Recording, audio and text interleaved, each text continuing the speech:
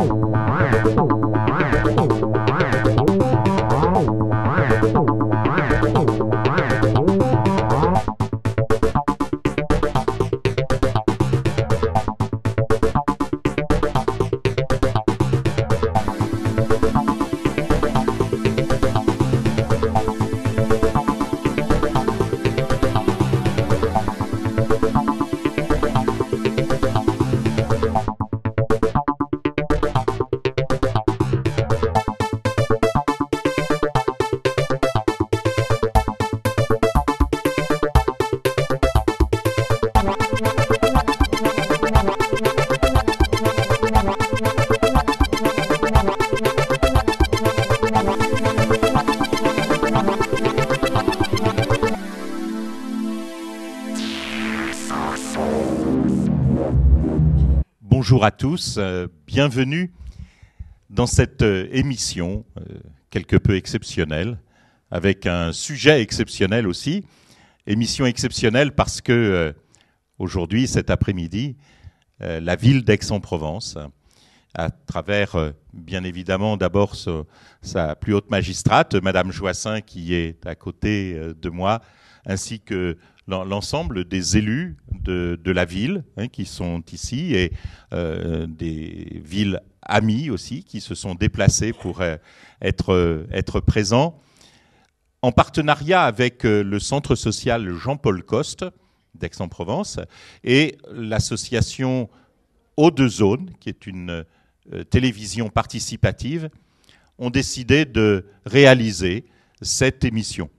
Alors, euh, exceptionnelle, bah, pourquoi? Parce que euh, est d'abord euh, participative. Alors, c'est un gros mot, un peu à la mode, mais qu'est-ce que ça veut dire? Bah, Ça veut dire d'abord que, au lieu de subir cette télévision, on voudrait essayer de la fabriquer. Et on va le faire, on va la fabriquer ensemble.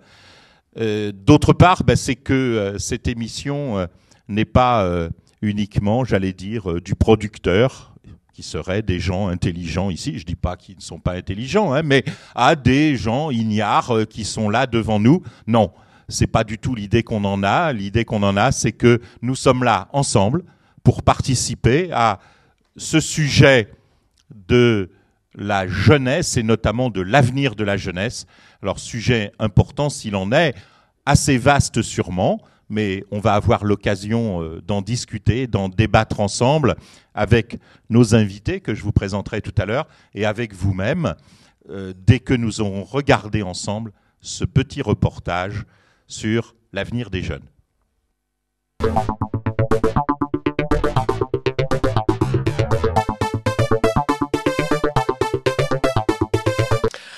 Mon avenir Alors là, mon avenir, euh, pour l'instant, je n'en ai pas tellement euh, une idée euh, claire, mais hum, il faut surtout s'accrocher. bah, je le vois bien, mais il faut simplement qu'ils pensent à eux-mêmes et, et, et, se mettre une ligne à suivre, mais très personnelle, quoi. Ne pas penser aux, aux problèmes de la société, aux crises, etc. Vraiment foncer dans une ligne et ils y arriveront, quoi, je pense.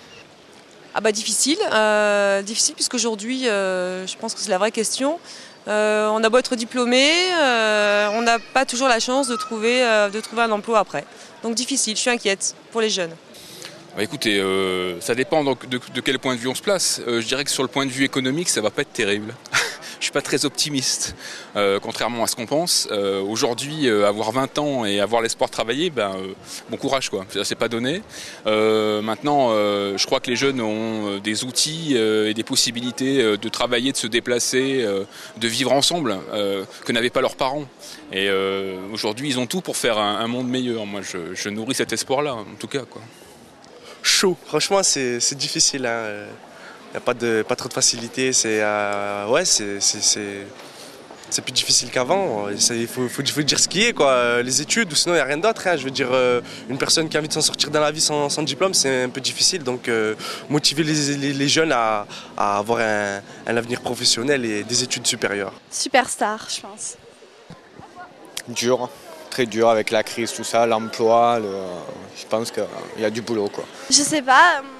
Je vais, faire des études et puis après, euh, je ferai ce qui me plaît. J'ai pas encore d'idée là.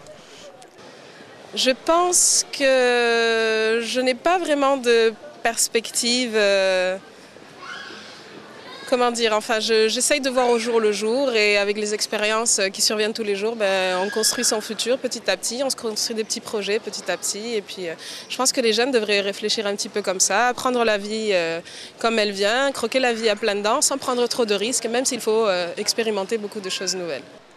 Comment je le vois Alors que c'est sûr au niveau travail, je pense que ça, ça se complique de plus en plus. Mais, euh, mais bon, je pense qu'il y a toujours moyen de trouver quelque chose et, euh, et pour eux, euh, je pense qu'avec leur dynamisme, ça devrait marcher. Alors mon avenir, je le vois très haut. Et euh, ceux des jeunes, j'espère qu'ils le voient très haut aussi. Il faut viser haut. Il faut viser toujours plus haut et euh, il faut espérer que ça marche. Et vous? Euh, J'appuie cette théorie. Il faut avoir des ambitions et se donner les moyens de réussir. Puis viser la belle vie, quoi. On n'en a qu'une, donc euh, ouais, viser haut pour, euh, pour être bien et, heureux avant tout. L'avenir des jeunes, eh ben, euh, je crois que s'ils continuent euh, sur cette lancée-là, je pense qu'ils vont arriver à quelque chose. Il faut qu'ils soient motivés et je pense qu'ils sont motivés quand même.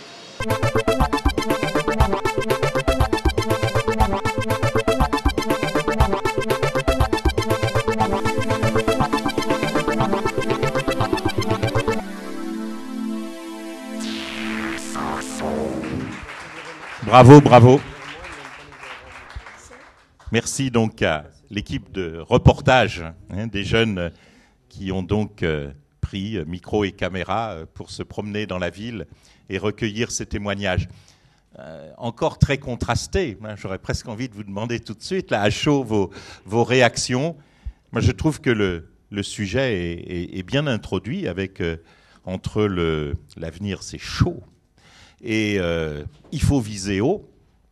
Bon, c'est peut-être les deux d'ailleurs. Alors, euh, ça serait intéressant que maintenant on, puisse en débattre un peu. Alors, toujours pareil, en essayant de, de dire, euh, nous, vraiment, ce qu'on en pense. qu'est-ce que qu'est-ce que c'est notre inquiétude, peut-être, mais en même temps, à certains autres moments, qu'est-ce que c'est que aussi euh, cette force et ce dynamisme qu'on découvre? Et puis, essayons peut-être, là, nous en avons euh, le temps de, voir aussi. euh, quelques pistes d'avenir, quelques pistes d'action, quelques propositions. On a le droit de, penser aussi à, changer nous-mêmes les choses là où nous sommes. Alors pour ce, débat, nos intervenants qui sont à côté de moi, Sofiane du Conseil municipal des adolescents, hein, que j'interrogerai euh, avec vous tout à l'heure, Madame Joassin, maire d'Aix-en-Provence, qui nous fait le plaisir de participer à, cette deuxième émission, Monsieur Moumadi de l'Union des euh, centres sociaux euh, du département des Bouches-du-Rhône, Monsieur Violet, inspecteur de la jeunesse et des sports, et Hugo du Conseil municipal des adolescents.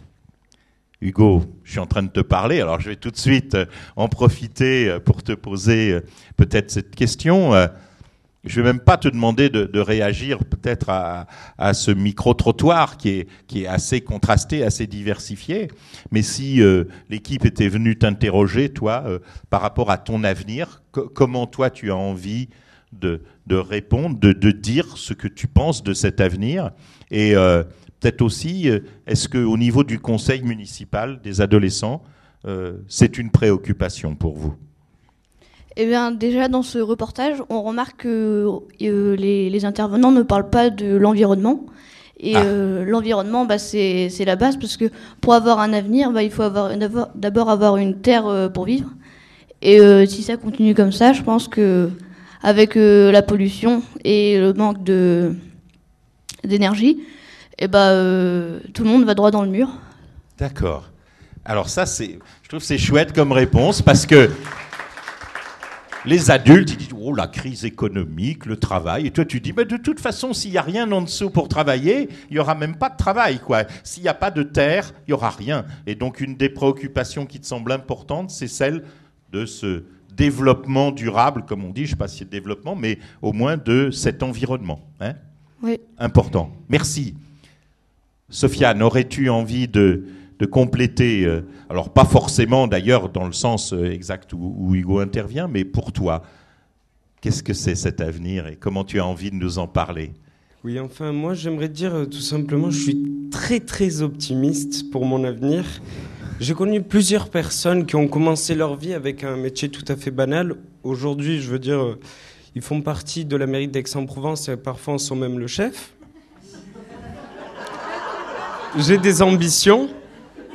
C'est tout à fait normal. Je veux dire, aujourd'hui, j'en ai parlé la dernière fois, il y a un énorme décalage entre les ambitions qu'ont les enfants et ce que pensent leurs parents. Savez-vous que 80% des parents pensent que leurs enfants ne réussiront pas forcément à cause de la crise, pendant que les adolescents, eux, pensent qu'à 80% ils vont réussir? Là, Bon. je me pose des questions. Moi, Alors, je suis Très bien, mais je trouve que c'est bien de, de, de, de montrer que euh, il y a aussi là une question de confiance en fait hein, euh, dans la jeunesse. Et, et donc toi, ce que euh, on a vu décrit dans ce reportage, finalement, ça t'impressionne pas et tu dis moi de toute façon, je crois que je vais y arriver, donc j'y arriverai. Absolument. Moi, je veux dire aujourd'hui, si je commence, je veux dire, c'est l'espoir qui fait vivre, c'est Ouais. ce qu'on pense tout le Ouais. temps. Moi, maintenant, je regarde pas l'avenir en me disant, oui, euh, aujourd'hui, on rajoute la grippe A, le sida, la, la tumeur, le cancer, la crise, euh, le problème de divorce. Aujourd'hui, un couple divorce au bout de 4 ans. Excusez-moi, mais moi, je reste heureux. J'ai envie d'être heureux. J'ai des ambitions, j'ai envie de réussir. Je sais pas vous, mais moi, oui. Allez, ouais, je crois que c'est très bien, très bien.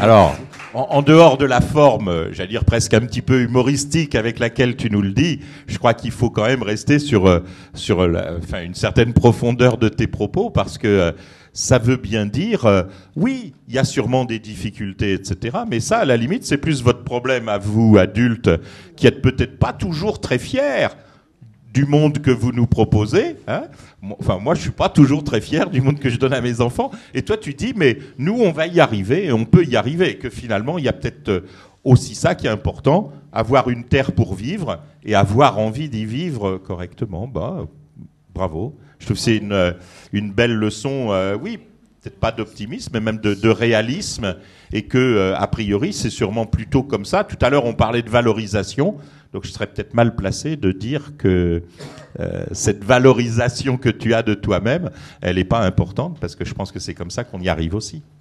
Vous êtes d'accord, Madame Joassin? Dites-nous. Complètement. Euh, moi, je, je- enfin, depuis tout à l'heure, j'entends des gens dans cette salle et, Ouais. et je vois des, des petits films et ça me réconforte. Ça me réconforte parce que j'ai l'impression euh, d'un grand optimisme qui se dégage à la fois des, des propos que nous tenons entre nous et des personnes qui sont entendues dans, dans ces petits films. Euh, je, voudrais dire aux jeunes, si je peux me permettre de leur dire euh, quelque chose, quand même, je suis maman et, grand-mère moi aussi, c'est que il faut qu'ils soient dans la vie optimistes, comme les Sofiane. C'est vrai, vous avez raison de le dire, cher monsieur, l'organisation de la société, c'est encore un problème d'adultes. C'est vrai que nous avons commis des, des erreurs, de grossières erreurs, mais c'est vrai aussi que nous avons fait beaucoup de belles choses. Et il ne sert à rien pour les adultes de toujours être en situation de repentance, parce que c'est pas comme ça qu'on donnera aussi confiance à nos enfants. Il faut que nos enfants, ils aient l'impression que nous sommes sûrs de ce que nous allons leur assurer. Bien sûr, il y a du problème. Les problèmes, on les connaît tous, on les vit tous, mais il faut aussi offrir un socle de sécurité. Et il y a quelque chose d'extrêmement important.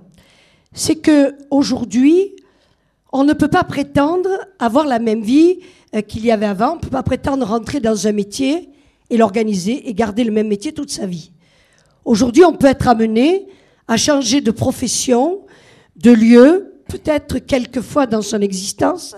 Et ce qui est important, c'est que les jeunes de ce, de, ce pays aient confiance en eux. Et là, moi, je suis mais, épatée. Mais euh, aussi euh, qu'il y ait une espèce de formation qui leur permette après, tout au long de la vie, de pouvoir s'adapter à autre chose. Et c'est ça qui est important. Et il faut qu'ils aient confiance en eux, qu'ils se sentent valorisés, qui ne se sentent pas euh, responsables des péchés ou non de, de la société actuelle, ni de leurs parents ou de leurs grands-parents. Ils sont comme tous les jeunes de toutes les époques en devenir, et ce sont eux qui vont créer la société de demain. Et il leur faut de l'optimisme, il leur faut de l'assurance, euh, il leur faut un socle de connaissances qui leur permettent aujourd'hui peut-être d'être guichetiers à un endroit, euh, demain d'être politique ou, ou d'être euh, ou d'être un ingénieur. Ou c'est ça qu'il faut qu'ils se disent. On n'est pas dans un moule à l'âge de 20 ans. À l'âge de 20 ans, on est en devenir, et si on doit vivre jusqu'à 80 ans, eh bien, il faut que toute sa vie, on se sente en devenir. L'être humain, il se perfectionne au fur et à mesure, et c'est une évolution permanente. Et j'ai l'impression que les deux gamins qui sont sur le plateau l'ont à leur mesure chacun compris. Un, il veut se situer dans un environnement intéressant et il a raison. Et là, ça nous appartient à nous de faire mieux que nous l'avons fait dans le passé. Mais celui-ci, il se sort complètement de toutes les, de tous les carcans pour dire, moi je suis jeune, j'ai la vie devant moi, je veux réussir, je vais réussir. Eh bien, moi, quand j'entends des jeunes parler comme ça, je me dis, j'ai aucune inquiétude. Maintenant, c'est à nous de t'apporter, de vous apporter ce que les adultes ou les politiques peuvent faire et doivent faire. Mais déjà, lui, il a compris quau delà de tout ce qu'on fait, au-delà de tout ce que la société met en place, eh bien, c'est lui qui sera responsable de son avenir. Et moi, je trouve qu'il a une maturité absolument extraordinaire. Merci. Alors. Pardon hmm, Pas forcément, pas forcément. Alors, Madame. Pas forcément. Madame. Bien sûr. Madame, nous ne pouvons, nous ne pouvons vous entendre parce que vous n'avez pas de micro. Nous aurons tout à l'heure un temps d'échange, un temps d'échange avec la salle, hein, et donc vous en profiterez à ce moment-là. Merci. Oui. Alors, optimisme hein, que cette position. Sofiane a, a envie euh, de réintervenir. Mais c'est vrai que, et ça a été notre réflexion déjà tout à l'heure, même si l'optimisme ne fait pas tout, on peut au moins penser qu'il euh, est beaucoup plus créateur, et quand on entendait Sofiane, hein, que euh, le discours un, peu stigmatisant de la jeunesse, qui est, on le disait, assez bien porté aujourd'hui. Sofiane, tu avais envie de réagir. Oui, bien sûr, je vais répondre. Vous m'avez demandé... Euh, que, vous pouvez répéter... Non, non, non, non. Elle pense que vous avez une famille. Voilà. Je peux vous rassurer, mon père n'est pas cadre. Euh, je veux dire, moi j'ai des ambitions parce que j'ai des amis, des amis qui me soutiennent, j'ai des amis qui ont toujours été là pour moi, j'ai un entourage, j'ai des modèles, Marie Joassin fait partie. Pourquoi Parce qu'elle a réussi sa vie, j'ai envie de la réussir comme elle. J'ai envie de la réussir parce que j'ai des ambitions. Et ça, c'est parce que l'espoir fait vivre. Moi je pense pas à la chance, je pense au courage. Le courage, je l'ai, l'ambition, je l'ai, et je vais réussir parce que je veux réussir. Merci Sofiane. Merci bien. Alors. Merci, et je crois que ce témoignage est important, hein, et on l'entend bien. Monsieur Moumadi, est-ce que je peux vous, vous demander de, de votre place à vous euh, comment euh, cette question de l'avenir, alors c'est vrai qu'il a été question en, filigrane aussi euh, de, la, de la formation professionnelle, de, de l'ensemble de la vie professionnelle. On n'a pas évoqué, mais on pourrait peut-être aussi l'évoquer, que en même temps qu'il y a cette nécessité, comme vous l'indiquiez, d'être un peu dans une reconversion permanente, il y a aussi quand même, alors il ne s'agit pas de ne parler que d'eux, mais qu'il y a aussi euh, un certain nombre de jeunes aujourd'hui qui encore sortent euh, de l'école ou de la formation sans, hein, on, est autour de 20% aujourd'hui de jeunes d'une classe d'âge qui euh, sortent sans réelle qualification et que c'est sûrement aussi un problème. Alors, euh, vous de votre côté, euh, pour vivre avec ces jeunes et notamment au, niveau des centres sociaux, quel apport vous avez envie de, nous transmettre sur cette question de l'avenir des jeunes? Je pense que la, question de la réussite sociale des jeunes passe fortement par la réussite scolaire, puisque nous sommes dans une société où la qualification professionnelle, où les diplômes sont énormément valorisés. Euh, vous parliez de 20% de jeunes qui quittent euh, le parcours scolaire sans qualification. Et je pense qu'il faut aussi dire que ce chiffre est encore plus important dans les zones difficiles. Euh, il en faudrait davantage des jeunes comme Sofiane, motivés, avec la niaque, l'envie de réussir. Mais malheureusement, il existe des jeunes qui n'ont pas euh, cette conviction-là.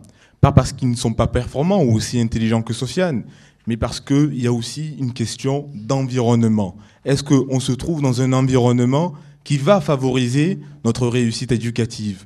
Sofiane parlait euh, que cet environnement-là ne venait pas forcément de ses parents, mais de ses amis, de son entourage. Mais il en faut un entourage comme toi, Sofiane. Et ce que j'espère, c'est que ton expérience, parce que je pense que la réussite éducative, la réussite sociale, la réussite professionnelle passe, comme le disait Sofiane tout à l'heure, mais avec d'autres mots, par la rencontre de personnes vers lesquelles on peut se projeter.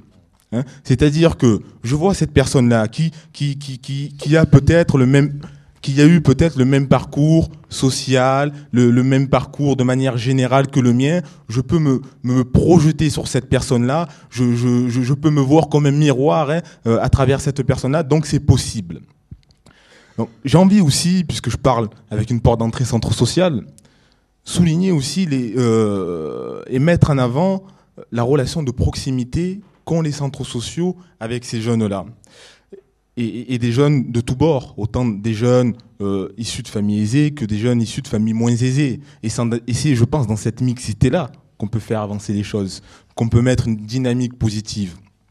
Puisque dans les centres sociaux, on développe pas mal de dispositifs qui se situent dans l'intergénérationnel, de l'accompagnement à la scolarité, à l'accompagnement à la parentalité. Parce que les questions de réussite sociale, euh, doivent, je pense, aussi s'analyser euh, dans un triangle famille, école, éducation nationale, instituteur. Et parfois, il y a des problèmes de communication dans ce triangle-là. C'est pour ça qu'on a besoin d'acteurs de proximité, que sont les centres sociaux, mais que sont aussi d'autres associations, pour venir un peu rétablir euh, euh, les, les, canaux de communication, le lien, hein, hein, le lien mhm. qui va faire que on va aller dans une meilleure compréhension, puisque je pense que tous les jeunes ont envie de réussir, tous les parents veulent que leur enfant réussisse, et tous les instituteurs ont envie d'amener euh, les jeunes qu'ils ont vers une réussite. Hein. Mais c'est pas facile. Mais c'est pas facile. C'est pourquoi je pense qu'il faut qu'on développe davantage d'actions, soutenir ces associations de proximité qui, ont une relation de confiance que je pense exceptionnelle avec ces jeunes-là, puisqu'ils les ont depuis tout petits. Et les encourager et leur donner davantage de moyens pour continuer à mettre en place leurs actions avec les jeunes, avec les familles et avec l'ensemble de leur population qui se trouve dans les zones dans lesquelles ils interviennent. Merci, merci, très bien. Et, j'aime bien votre votre, enfin, cette thématique de la proximité, comme si de toute façon l'identification là, hein, que vous nous euh, mettez en perspective, elle n'est possible que dans cette proximité. C'est si celui qui est à côté de moi et que j'admire, euh, pour lui c'est possible, pour moi ça le deviendra aussi. Hein. Monsieur Violet, vous nous donnez votre éclairage, c'est vrai, d'un autre, autre point, mais de votre réflexion aussi, parce que je trouve que toutes ces euh, tous ces points de vue viennent euh, cibler un peu notre question. Je vous en prie. Écoutez, moi je vais simplement partir de l'exemple de ce qu'on a vécu aujourd'hui. Oui. Je pense que euh, pour que les jeunes se construisent et pour que l'ensemble des connaissances qu'ils peuvent acquérir à l'école, dans l'environnement familial, leur servent à quelque chose, il faut qu'elles aient du sens. Et pour qu'elles aient du sens, eh bien, il faut mettre les jeunes en position d'acteurs. Voilà. Là, des jeunes qui filment, qui réalisent une émission, ben, je pense que dans cette semaine de préparation de l'émission, quoi, ils en auront appris beaucoup plus que euh, pendant des heures de cours où on est assis, où malheureusement on est parfois un peu trop passif. Voilà. Donc moi, je défendrai les, les, les programmes justement qui permettent de mettre les jeunes en position d'acteurs euh, soutenir les initiatives des jeunes. Pour ça, il y a des programmes qui existent. Il y a le programme développé par le ministère de la Santé et des Sports et maintenant le Haut Commissariat à la Jeunesse. Ce sont les programmes Envie d'agir. Donc là, on a un point pige. Donc vous pourrez avoir tous les renseignements. Je ne vais pas monopoliser la parole, mais des aides au montage de projets pour les jeunes. Il y a différents types d'aides de, d'aides de 11 ans à 30 ans. Donc vous voyez, on a une conception de la jeunesse qui est relativement large. Hein. Euh, ça peut aussi bien des, des, des, aides pour les jeunes qui veulent monter leur entreprise, des aides pour les jeunes qui veulent un projet, un projet de coopération avec d'autres pays. Et puis aussi, il y a toute une sorte de programme du même type. Aussi, il y a tous les renseignements ici sur le programme européen euh, Jeunesse en Action. Donc, premier point, donc être jeune, avoir envie de bouger, avoir envie d'agir. Pour ça, il y a des moyens, mais malheureusement, l'information n'est peut-être pas suffisamment euh, diffusée. Je fais peut-être pas suffisamment bien mon travail, mais bon, c'est pas évident. Il faut nous donner le moyen de, de passer à la télévision plus souvent. Hein. Ça serait Allez. bien d'avoir des spots publicitaires pour expliquer aux jeunes tout ce qui se présente à eux. Et bien souvent, malheureusement, ce type de projet, eh bien évidemment, ce sont des, des, jeunes qui vont à la recherche de la formation, peut-être un peu comme Sofiane qui les trouve. Et dans les quartiers où il y a un peu plus de difficultés, on n'a pas forcément l'info. Et là, je pense que le, le, la chose à développer, c'est le soutien le soutien des jeunes, les aider à monter ces projets, parce qu'il y a des dossiers à faire et puis il y a un peu de méthodologie, il faut, ça, se prépare un projet. Alors les programmes européens Jeunesse en Action, ça aussi, ça, ça, me paraît vraiment intéressant. Allez voir ailleurs ce qui se passe, allez faire ces études ailleurs. Je ne vais pas vous sortir l'adage, les voyages forment la jeunesse, mais bon, tous ceux qui se sont un peu bougés, qui sont allés voir ailleurs, il n'y a rien de plus formateur. Voilà. Merci. Et à, à partir de, même de cette documentation, euh, oui. on, on, va se donner peut-être les moyens de, de, le mettre encore plus à disposition, oui, hein, oui, de oui, trouver. Oui, mais alors, là, la documentation, est. Là, je très bien, sûr. très bien. Merci beaucoup. Je sens que, au regard de certains, vous trouviez que nous continuions à parler en, en vous ignorant et, et, que vous aviez beaucoup à nous dire. Alors, euh, Maxime, euh, la parole est à toi et à la salle. Euh, nous sommes intéressés par vos questions, vos interventions. Je pense que sur ce point, beaucoup de gens ont des questions à dire. Mais avant cela, euh, je voulais dire que Sofiane, je suis tout à fait d'accord avec ce que tu dis. Les jeunes, il faut les motiver, ou sinon ils arriveront à rien du tout. Ils vont plonger. Maxime, Et... merci. Ça, bravo. non, non, mais il faut y croire. Allez. Oui. Donc, ah, officie maintenant parce que il y a de nombreuses mains levées. J'ai dit à moi parce que l'occasion fait le larron, Monsieur Violet. Euh, moi, je suis assez opportuniste. Vous avez parlé de projet. Moi, il y a quelques jours, euh, donc les jeunes du CMA étaient dans le secret de mon bureau et Myriam était en train de, de me parler de l'interruption volontaire de grossesse. Et puis, euh, pendant qu'on phosphorait toutes les deux, à un moment donné, elle me dit, vous savez, Madame Drauzia, moi, je trouverais formidable qu'au cinéma Cézanne, le mercredi ou le samedi, où il y a beaucoup de jeunes qui vont voir des films, qu'il y ait un spot publicitaire qui serait fait par les jeunes du pays d'Aix, donc les jeunes qui sont au sein de ma délégation donc du CMA, euh, pour expliquer euh, un spot de deux minutes avec des professionnels, euh, l'interruption de grossesse, ou comment le planning familial en donnant comme ça quelques adresses et puis en expliquant un petit peu les moyens euh, de prévention et dit par les jeunes et particulièrement les jeunes du pays d'Aix qui sont euh, dans ce, ce, CMA, ce serait formidable. Donc comment faut-il faire, monsieur, pour avoir les financements? Allez, allez. Une réponse pas trop longue pour redonner la place. Pas, y, y, Je vous en prie. Simple, euh, on a comment dire des collègues qui sont conseillers d'éducation populaire et de jeunesse. Euh, c'est une personne qui s'appelle Katia Babin, qui travaille à la DRDJS. Je vais vous donner son numéro, justement. Donc, il y a une campagne chaque année d'aide au montage de projets. Donc, il y a des financements qui sont réservés, qui sont prévus. Il y a une commission dans laquelle, justement, il y a des, représentants des jeunes euh, qui, qui, donnent leur avis aussi sur le projet. Et il y a un accompagnement montage de projet. Alors là, en plus, si c'est un conseil municipal de jeunes, donc il y a déjà une organisation, il y a déjà des jeunes qui sont identifiés. On aide à monter le projet, on évalue avec eux le, les, les, les, besoins techniques, les, les coûts en termes de budget, on monte un budget. Hein. Et puis là, en plus, on est vraiment dans les projets, les thématiques qu'on doit développer, c'est-à-dire la santé des jeunes, l'information des jeunes. Donc là, normalement, ça commence bon. bien. Bon, voilà. Je Merci. vous donne un numéro, c'est pas plus. Ah, personne ne dira que nous n'avons pas été concrets. Hein bien. Maxime. Euh, euh, moi, je voulais simplement je dire un petit mot, parce qu'en fait, j'ai la charge du bureau information jeunesse, qui effectivement est, est, est un, orga, euh, un, organisme qui, euh, qui, est, qui, est, là pour répondre aux questionnements de la jeunesse. Nous recevons plus de 10 000 jeunes par an. Et euh, les animateurs qui sont là, qui sont des hommes de terrain, sont là pour répondre aussi aux questionnements des jeunes. Donc je voulais un petit peu faire la publicité de notre dispositif parce que nous sommes partenaires euh, du ministère et, et, et de, de, des dispositifs du Centre régional information jeunesse. Très bien, et qu'il y a là une porte à pousser donc. Hein Merci. Madame j'ai juste deux petits mots à dire. Euh, je, je, suis euh, justement une ancienne animatrice de, de conseil municipal des jeunes et je voulais leur dire que vraiment je suis très très fière euh, d'eux. J'en viens d'en apercevoir certains que j'ai pu encadrer et, et, je suis, je voulais leur dire que moi aussi j'avais très confiance en, la jeunesse parce que c'est sûr qu'en en étant motivé, en montant des projets comme vous les avez montés cet après-midi, en regardant les exemples des, autres, mais voilà, je pense que vous pouvez avoir confiance en l'avenir et puis bien positiver et faire le maximum. Merci. C'est une déclaration d'amour. Bien, merci beaucoup hein, à la jeunesse. Mais oui, je crois. Alors moi, je voudrais dire une chose. J'aimerais qu'on passe souvent ce que vient de dire Sofiane, parce que c'est une belle leçon que tu donnes aux adultes. Parce que la confiance des jeunes, elle vient de par la confiance des adultes. Et quand tout à l'heure, la dame disait les familles monoparentales, les familles recomposées, mais moi j'ai été une famille monoparentale. Aujourd'hui, je suis une famille recomposée avec huit enfants.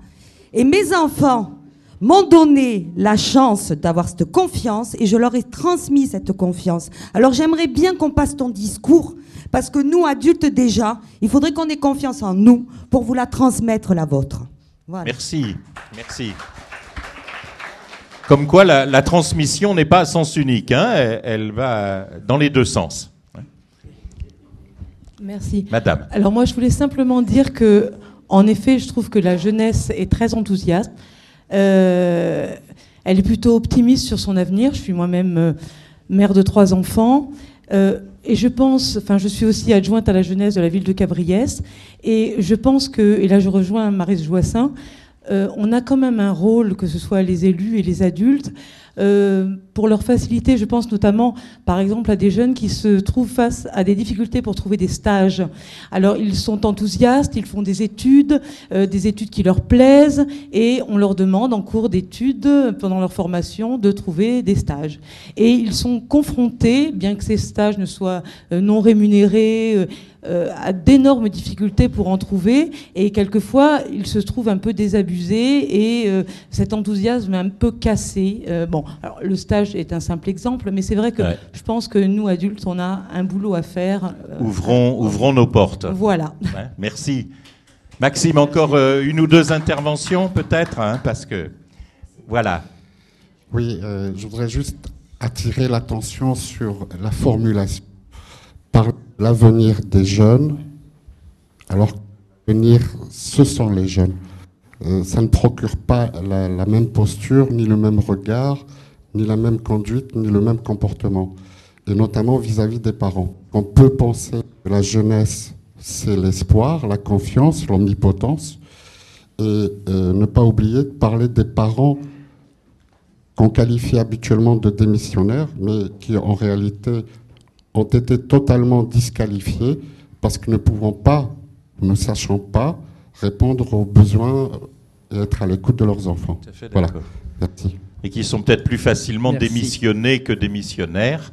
Hein Donc, euh, ayons confiance. Merci. Je vous en prie. Donc, euh, bonjour.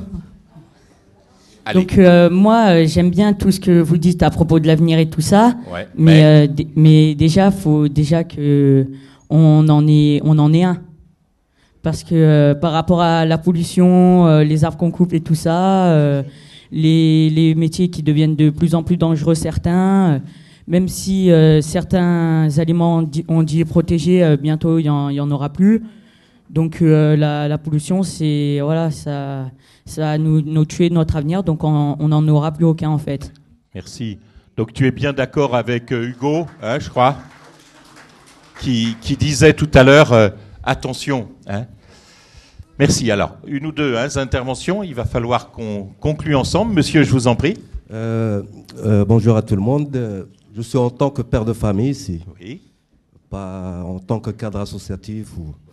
Moi, je veux, je veux revenir juste sur un point et attirer l'attention de tout le monde. On a eu beaucoup de jeunes de quartiers défavorisés, de familles très défavorisées, qui ont réussi leurs études, qu'ils ont fait des études supérieures. Et malheureusement, c'est les enfants de ce pays qui se trouvent à l'étranger à cause de la discrimination et le racisme. Merci. Merci. Merci. C'est aussi, c'est aussi une question d'ouverture de porte. Merci bien. On termine là Maxime, où tu as encore. Allez, une intervention, et c'est celle d'un jeune, donc ça sera bien. C'est un signe. Merci. Bonjour. Bonjour.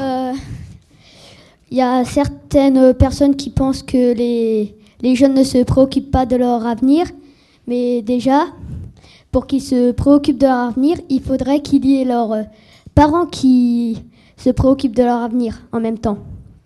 Donc ça, ça pourrait bien les aider un petit peu. Bien. Merci. Nous avons besoin de parents qui s'intéressent à nous. Bravo. Merci.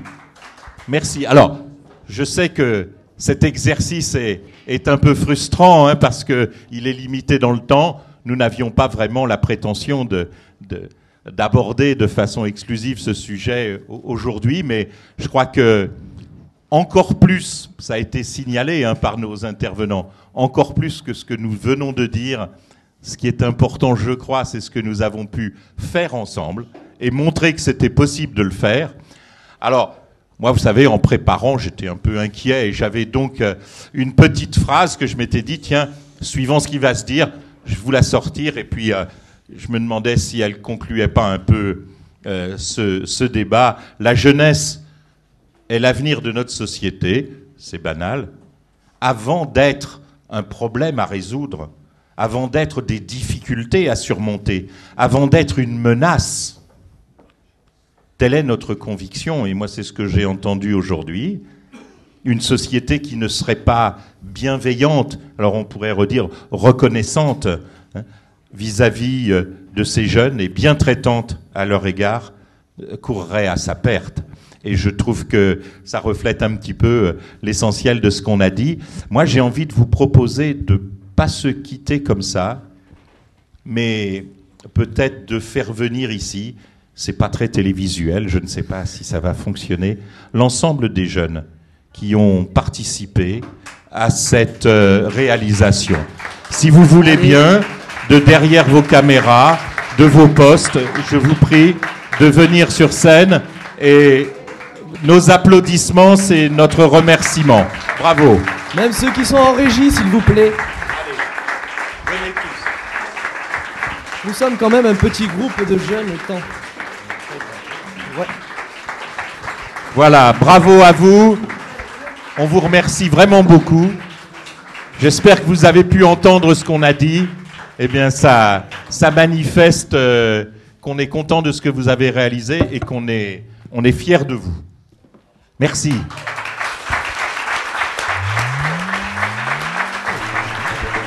Merci à vous tous aussi et à une prochaine fois. Je crois que ça sera bienvenu. Bonne soirée.